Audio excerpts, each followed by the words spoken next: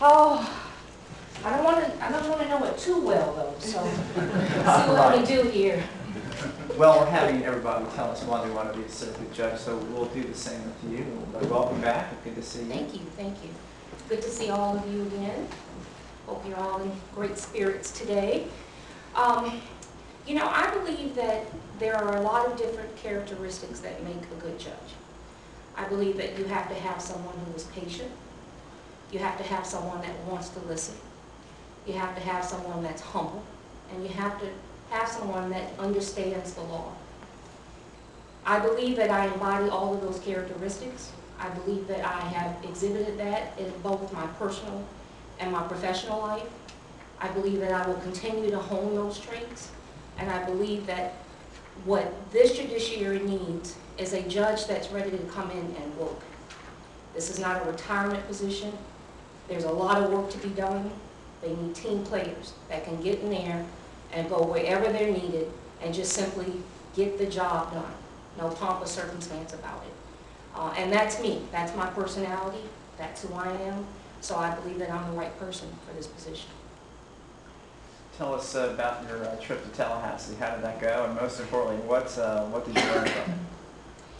I have to be honest, you guys have to put me on this short list because getting away from the kids and the husband for just one night, oh my God, it was wonderful. You know, you, you check into the hotel and you're, you're not having to chase people around the lobby and, you know, you, you check in and the room's all quiet and, and, you know, normally I Lysol the whole room down and everyone's gagging and complaining, but it was silence and I just sprayed away and, and I went down and, and, and it, it was, I ordered dinner, I took my time. Normally I'm rushing because you don't want the kids to disturb other people and it, that was a mini vacation for me and I really need that again. So, I mean, it was wonderful. Don't, well, no, you're recording, that's right. I was supposed to admit some things online about some purchases that I made while in Tallahassee, but we'll just It's go privilege. right over that. At least you did Palm Beach. Okay. No, no, it was, you know, and, you know, as all of you know, I'm from a small town. I'm from Opelousas, Louisiana. I swear to God, I will never forget that walk down that street to that Capitol because I just felt like, like, oh my God, I can't believe, you know, that I'm here. And it was just, I, I got there almost two hours early just because I, my, my friend said, what are you going so early for? And I said, well, I just want to get at one with the building, and it was because it was, it was, it was huge for me, um, for a lot of different reasons, so I'll never forget it, never. Why, why do you think the governor didn't pick you for the staff? Oh, I just couldn't get to him, you know? I tried and I tried, you know, he has a hard job, I mean, I, I don't know, I'm a multitasker. He has to be a super multitasker. Um, I couldn't even, I was disappointed when I wasn't selected, uh, but I've known uh, Judge Nichols for a very long time. I couldn't be disappointed in the selection. Um, and so I, I understood. You know, I understood that, hey, you know, maybe this is just what it was supposed to be. She was the right person this time. Um, and I just have to believe that uh, I'm going to be the right person at some time too. Yeah, so, What did you learn from the interview itself that you might perhaps change or focus on if you were selected again? I I don't think I'm going to change anything. You know, my, my goal is always to just be who I am. That's all I can be. It doesn't take a lot of work to do it. And that way I can't be tripped up, I can't be said, you know, to have said something or expressed an opinion that I don't truly have. And, um, and that's what I did. I mean, I, I honestly, it- they were so pleasant. Now, that was surprising to me because I think I expected something real prim and proper and, you know, but they, it, it was real relaxed. Uh, and we just, we conversed.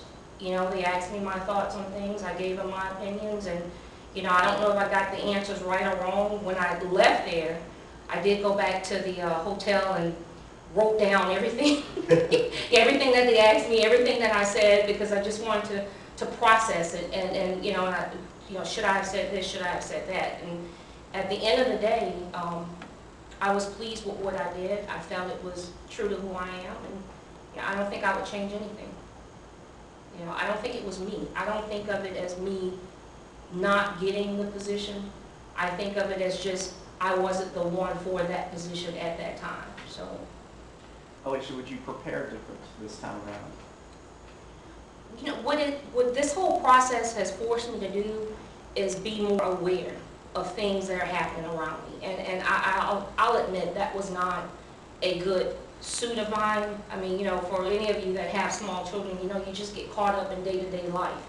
And pretty soon, you know when all the new episodes of a certain show is coming on, but you don't really know or, or perceive what's going on around you. Uh, so it, it caused me to realize that I have to be more aware of what's going on in the political world, what's going on in the business world, because these are the things that, that Tallahassee wants to know what my opinions are. And I have to know about them to be able to form an opinion. So it forced me to, um, grow up a little bit, you know, and then realize that, hey, you know, if you want to do this, you have to show them that you have the aptitude to absorb it. Elise, can you elaborate on, you, you filed bankruptcy in the past? Yes, sir, I did. Can you elaborate on that, please? Yes, sir. Uh, we, um, you know, we built a house before we sold the house that we were living in, in Port Orange. And, um, that was just a bad decision. That's not the way I was raised, and, and that's really not the way Alfred was raised, but I thought I understood it. I thought I understood the housing boom, and I was seeing my neighbors selling their houses for three times, you know, what they bought for them, and I just thought, oh, finally, we're, we're in with it. And then the market just completely crashed. So now we're, you know, we're in a house that we're paying more than we thought we would because we were counting on the proceeds from the first house. And for three years, we tried very hard to keep both of those mortgages afloat, and it just did not work out. Um, Ultimately, we had some decisions to make in terms of what was best for our family. Do I think that it was the right moral decision or ethical decision to file bankruptcy? No. But we sat down, we didn't try to be our own doctors or our own lawyers, we met with very competent bankruptcy attorneys, we talked about the impact if, because the foreclosure had already commenced. We talked about what the impact of a judgment would be and credit implications and how it would affect us. And we just decided that for our family, uh, we had to take this remedy that was afforded to us by law. Um, so we took it, and it's, you know, I tell anybody, it's never something that I pound my chest about. I'm not proud of it. I learned a lot from it. I learned to keep my expectations within reality. Um, I learned not to try to follow the trends and to go back to those values that, that I was raised on. Not to have caviar taste with beer money. And, uh, and I've learned from it. Um, we're still recovering, but our family is intact and I think we're stronger for it. And quite frankly, I take the blame for all of it, and I told my husband afterward, I said, you're just gonna have to learn how to tell me no. Even when you think you're, I'm gonna be very upset with you, you're gonna have to be the head of the house and just tell me no. And I think he enjoys that a little bit more than I intended him to, um, but, you know, that, that's what happened. I appreciate your candor. No problem. Alicia, you do a lot of family law practice, um, and I think you've probably heard me sigh quite a bit in docket soundings and case management conferences because the time, it's your time that you put into it.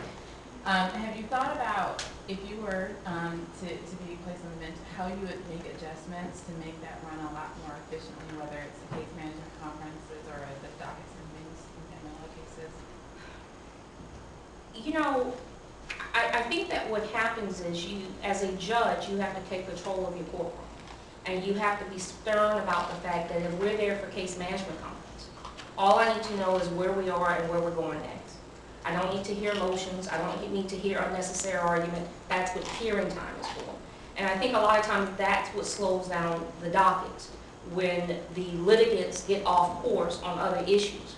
And it's not right, you know, it's not right because, like you said, as a private practitioner, I know oftentimes you have to be in two or three places at one time. So if you get held up in this one arena, it really puts a lot of stress, you know, on your day.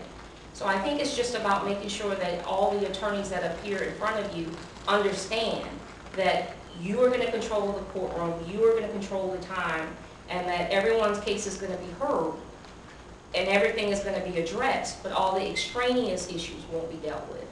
Um, and it's, it's just about control, you know, and not in a, not in an unpleasant way. I mean, I wouldn't sit at the bench and hit a gavel or blow a whistle and say time's up, but I've seen judges that run their courtrooms like clockwork. And I just watch them and they do it very pleasantly. It, but it's just an understanding between the litigants that, listen, the judge wants to deal with this issue because this is the issue that was set for today. How, what are, who are some judges, whether it's the clockwork judges or, or other judges that you've, um, seen and admired and, and might draw from things you've learned from them? In terms of running a courtroom efficiently, when I was in front of Judge Orfinger, uh, when he was on the trial court in Daytona, uh, that's when I first picked up on it, because I'd only been an attorney then maybe two or three um, years, and he had to tell. And I don't know why attorneys didn't pick up on it, but when you were done, he started pulling at that collar, and you knew that it was time to hurry up and move on. Judge Morrison in, uh, in Putnam County, she does the dependency docket. I have never, I've been in dependency dockets in front of Judge Breeze, Judge Marriott, Judge Zambrano. Because of the nature of dependency, you know, it tends to get emotional, it tends to get really, you know, dragged out, and you don't really know what's the right, right place to say, hey, you know, I don't, she has those cases set for seven and a half minutes each. And I watch that clock, and all the issues get addressed. But seven and a half minutes, we're on to that next case. A Couple of times, you know, because I'm sitting there and I'm watching, a couple of times when a case will go over, I'll go, hmm, in my mind, oh, we're behind. But I'll be darned if the next case doesn't finish in five. You know, and, it's some kind of way she just, and I think it's about just, again, maintaining that control over the courtroom. And I think litigants appreciate that. They like that order, you know, because they know what's gonna happen next. And it's, it's not gonna be the wild, wild west. And, and so those are the two judges I think that stick out most in my mind in terms of just keeping the courtroom going because you have to have an appreciation for the value of everyone else's time. Yes. Alicia, thank you. Uh, That's and it? we will let everybody go, um, probably not later than four, and, uh, thank you for coming. Okay, thank you. Thank you so much. Okay, guys. You know, I told one of my friends, I said, I hope I don't turn into the Susan Lucci of these judicial nominees. It's nice to see you. right, thank you. Have a good day.